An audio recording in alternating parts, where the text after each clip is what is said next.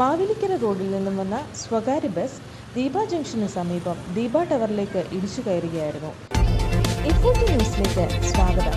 ഈ channel subscribe ചെയ്തിട്ടില്ല എങ്കിൽ ദയവായി സബ്സ്ക്രൈബ് ചെയ്യുക. ബസ് നിയന്ത്രണം വിട്ട് സ്കൂട്ടറിലിടിച്ച് ബൈക്ക് യാത്രക്കാരന് ഗുരുതര പരിക്ക്. തിരുവല്ല. ബസ് നിയന്ത്രണം വിട്ട് ബൈക്കിലിടിച്ച് ബൈക്ക് യാത്രക്കാരന് ഗുരുതര പരിക്ക്. മാവേലിക്കര റോഡിൽ നിന്നും വന്ന സ്വകാര്യ ബസ് ദീപ ജംഗ്ഷന് സമീപം ദീപ ടവറിലേക്ക് ഇടിച്ചു കയറുകയായിരുന്നു. എം സി റോഡിൽ നിന്ന് വന്ന കളത്തിൽ ബസ്സാണ് അപകടമുണ്ടാക്കിയത്.